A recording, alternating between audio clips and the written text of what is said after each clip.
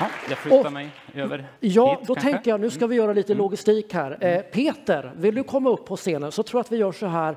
Mark, om du liksom vinklar dig lite här så du ser frågorna och så har vi våra två uppkallade här. För jag tror nämligen att det är så att Peter eh, Bergman från Sveaskog har vi träffat innan.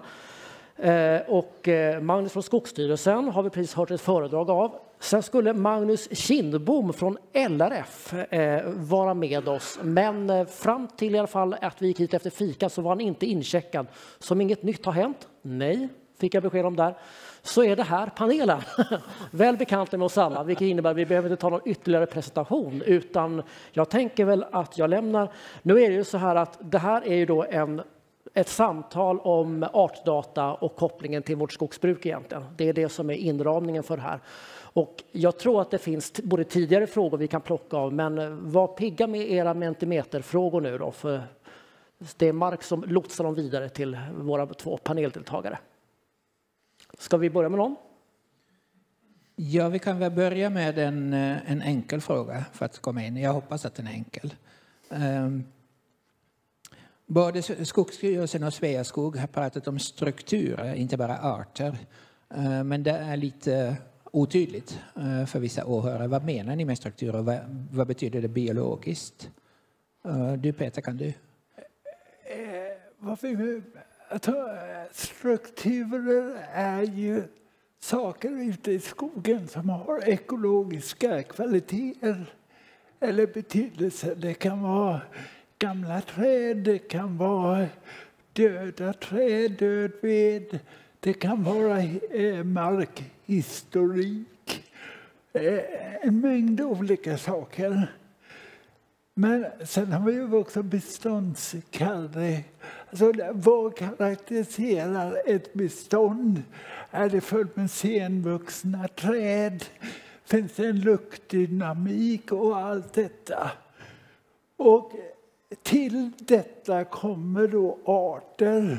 Och det är ju det som är så lysande i Skogsstyrelsens nya tillsynsarbete där man faktiskt knyter ihop strukturer till en biotop och kopplar det till ett gäng arter. Det innebär fortfarande att jag kan bedöma de här eh, biotoperna utifrån strukturer och bestånd. Men börjar jag titta närmare och hittar arterna också så är det ju ett, ett kvitto på att jag är eh, någonting på spåren. Så att jag tycker inte det är otydligt alls. Tillsynspaketet som Skogsstyrelsen har eh, presenterat är lysande. Det är kvällslitteratur till alla här inne. Mm. Eller? Tack. Vill du tillägga någonting? Eh, jag, eh, jag, kan ju bara skriva under på det Peter säger, och, men jag kan förstå självklart att det finns en begreppsförvirring. Eh, det finns inom ekologin såklart väldigt många begrepp att, att lära sig och förstå. Sen finns det såklart begrepp i, i lagtexter, i föreskrifter också. Eh, ordet hänsynskambiotop biotop är ju faktiskt en sån som också finns med i, i, i föreskriftstext. Då. Men eh, jag, jag gör samma poäng att eh, vi, vi, kommer inte kunna hitta alla dessa arter, utan det är de här strukturerna på mikronivå och någon sorts makronivå. Om vi prioriterar dem så kommer vi få de här kvittorna på vissa kända arter, men vi kommer ju med största sannolikhet gynna en mängd andra arter också som vi inte vet lika mycket om. Mm.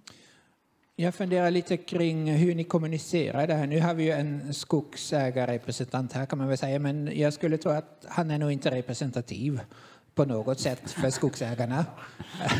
Du är från Göteborg, sa du ju. Och jag tror att de flesta skogsägarna bor väl i Stockholm. Men eh, jag, jag, jag, tänker, hur, hur anpassar ni budskapet? Du var inne på att det är ju en väldigt stor spridning bland skogsägarna och alla kanske inte är bäst på arter och strukturer i sin egen skog. Hur kommunicerar ni alla de här svåra begreppen med dem?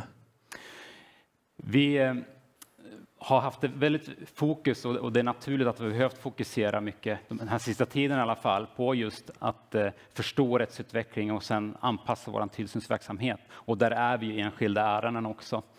Men vi ser ju eh, definitivt att vi har ett stort jobb att göra i vår information utåt från myndigheten och i med vår serviceskyldighet som myndighet. Och där eh, behöver vi jobba mer med vår hemsida.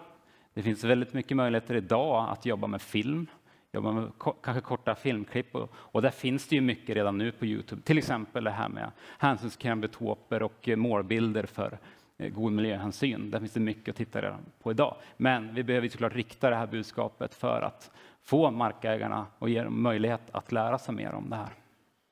Får, jag skjuta in med en liten grej där? Ehm, det jag tänkte på det, det är synd att liksom lite grann tappa det här eh, skogsägarperspektivet lite grann här eftersom vi är en person kort. Men tack vare lite mejlväxling så kan jag faktiskt komma med några inskjut som kommer från oväntat håll. Det här är inte mina ord alltså.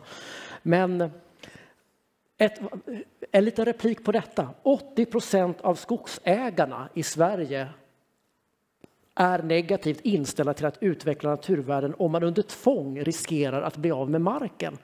80 procent påstår, påstår LRF då, är däremot positiva till det om man inte riskerar att förlora sin mark.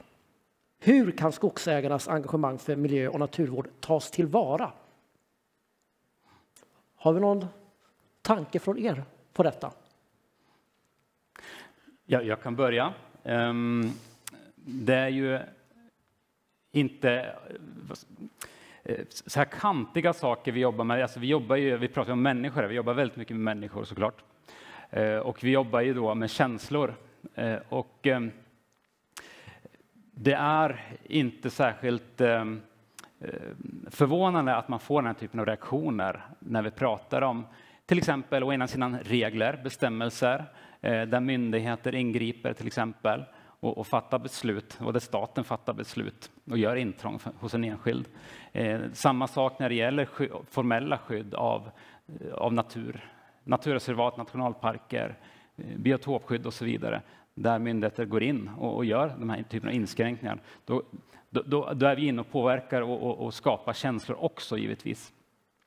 Så en, jag har såklart ingen lösning på det här på något sätt, men Eh, mycket tror jag kokar ner till just det här med kunskap. Att försöka komma från de här eh, sakerna, de här formella bitarna och verkligen försöka förmedla kunskap och eh, varför de här sakerna är viktiga. Och, och, och, det finns det faktiskt också exempel på markägare som tycker det är otroligt roligt att få reda på att de här arterna, de här naturtyperna finns faktiskt på min mark och att man kan känna stolthet med det. Men det är ju, det är ju någon sorts eh, optimalt, eller man ska säga, tillstånd.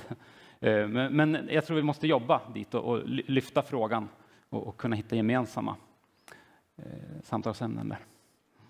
Jag, jag tänker skogspropositionen är ett uttryck för det här. Där man vill eh, prata mer om eh, frivilligt formellt avsatta skogar. Det är markägarna som är de som eh, ska ta initiativet. Visserligen det finns en del marker som är otroligt skyddsvärda där staten måste göra ett, ett jobb. Men det, det, har ju ändrats där även politiskt. Att försöka jobba lite mer med morot och en piska, tycker jag. Ja, och då blev en följdfråga. Hur ser den moroten ut? Om ni jobbar med den. Och den kanske går i första hand till Skogsstyrelsen. Ja. Eh, nu vet jag att jag har ju några här i publiken som skulle kunna svara på det mycket bättre än vad jag kan. Men det finns ehm, eh, Dels så finns det möjligheter till, till, ersättning. Vi har jobbat med ekonomiska stöd också, så det finns ju befintliga. Man måste inte uppfinna de här hjulen helt och hållet på nytt. Eh, men sen har vi också den här möjligheten att eh, eh, till exempel anmäla till Skogsstyrelsen områden som man bedömer själv som markägare intressant att skydda. kanske. Och det här är någonting som vi kommer fortsätta att jobba med, utveckla och ehm, bli ännu mer pricksäkra och kanske bättre också i vår kommunikation kring det här med frivilligheten och där markägaren själv tar initiativet. Så, så det är ja, ett exempel. Mm. Det har kommit en kommentar på det du tog upp också. Um, den kan jag läsa upp uh, rakt av. Varför citeras en färgad LRF-undersökning? Över 50 procent av skogsägarna vars mark som skyddats av formellt skydd har varit nöjda enligt Naturvårdsverkets undersökning. Så där har vi lite olika siffror som står mot varandra. Kan ja. vi säga. Och vi har inte Naturvårdsverket här, eller vi har Naturvårdsverket här, men de är inte inbjudna till att ta med Nej, just i den här diskussionen. Vi saknar LRF lite, det var därför jag iklädde mig den rollen här, för det var ja. en, en, en liten kärn. Siffrorna må vara det här, men, men synsättet gick fram i alla fall. Ja, och en annan fråga som berör Naturvårdsverket. Det är ju ingen hemlighet att Naturvårdsverket och Skogsstyrelsen har lite olika tolkningar här. Eh, det har kommit en hel del frågor kring detta, men de tänker jag också släppa nu eftersom det inte blir rättvist som man säger på public service. Vi har inte bjudit in motparten så det blir ingen diskussion kring detta.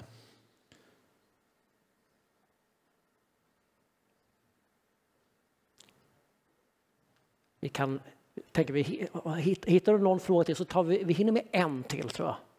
Bara en fråga till? Ja, Oj. vi tar två då. Två snabba. Då måste jag läsa noga. Alltså. Det beror på svarens längd. ja, Så det är en liten pass till våra två paneldeltagare. hur, hur kommer försiktighetsprincipen in i allt det här? Hur tillämpar ni den? Ja, ett snabbt svar på den. Eh, inte lätt, men eh, Eh, jag skulle säga att det beslut som togs här i februari att vi ska hantera framförallt friluftsarter med miljöbalken och vi släpper lite grann skogsvårdslagen där. Det innebär att hela det här andra kapitlet i miljöbalken där försiktighetsprincipen är omnämnd. Då. Vi kommer att tillämpa det och eh, det kommer ju krävas då ett större engagemang från den som äger skogen att visa på att man tar en, en bra hänsyn. I vissa fall kommer vi behöva dra i handbromsen av de skälen också och invänta ett, att det klargörs bättre att den här friluftsarten inte kommer påverkas på ett förbjudet sätt. Då. Så att det, ja, så snabbt det gick svarar jag så. Har du någonting? Nej, men eh, jag, jag, kan ju bara hålla med. Vi försöker ju med våra naturvärdesbedömningar inför alla åtgärder att se till att det vi gör är på rätt sätt och kunskapskrav och försiktighetsprincip gäller ju oss också. Så att, eh, det är klart att man måste jobba utifrån det. Ja, då springer jag ner och eh, då är det bara en påse jag får dela ut här. Men eh, Peter så redan har fått påsen. Men eh, varsågod. Tack så mycket. Tack så mycket. Och tack så mycket för er medverkan. Tack ska du ha. Till denna lilla korta panelstund.